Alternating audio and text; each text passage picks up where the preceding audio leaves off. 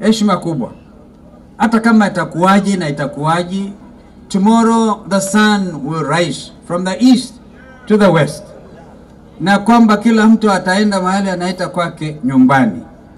Jambo la busara, na namshukuru kwanza Apostle Musili kukumbusha Wakenya yaliyotokea mwaka wa elfu mbili na saba ambapo mnakumbuka mimi nilikuwa mgombea wa kiti cha urais. Nilikuwa tayari kurudia mahali mimi natoka huko Sekuru, tulikuwa tunafanya wrestling. Ukiangushwa mara ya moja na ambaye mwana wrestle naye anatumia lugha huko ya, ya, ya Kiingura anasema novaka etunge menzuri marudio. Tulikuwa tayari kwa mechi ya marudio, lakini kwa sababu ya Kenya kwamba ni kubwa kushinda sisi, tukasema kwamba tuko tayari kuahirisha kwa sababu ya nchi hii tunayoipenda sana, makusudio hayo ambayo tulikuwa nayo, lakini haimaanishi kwamba kuna uoga, kwamba kuna hali ya kushawishiwa kimebaya, kimabavu.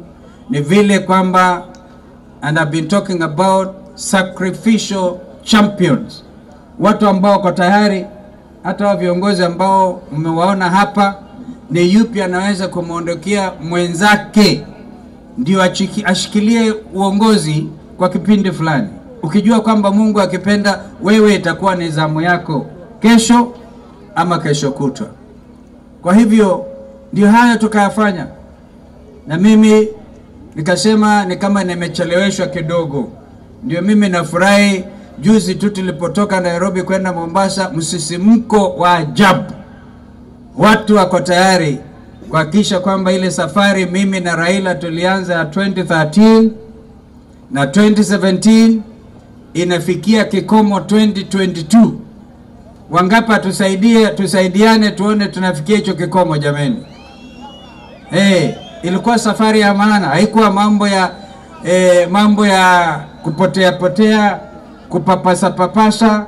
Kulikuwa kwamba ni umuhimu mkubwa tumalize umaskini Kenya hii, ikiwa ni kanisa lijue linapata mahala pake.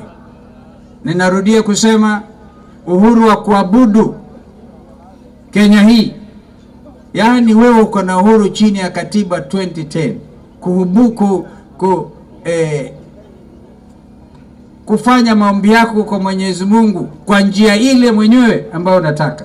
Hakuna mtu anaweza kukuzuia, na ndio nasema hata kusajili makanisa. Wengi unasema oh, makanisa ni mengi. Ni mengi jinsi gani? Haiwezekani. Hata kama unataka kuabudu chini ya mti, ni haki yako kikatiba. Ukitaka kurejista kanisa lako chini ya mti, uko na uhuru wa kikatiba. Hakuna ambaye anaweza kukuzuia. Hiyo ndio katiba yetu.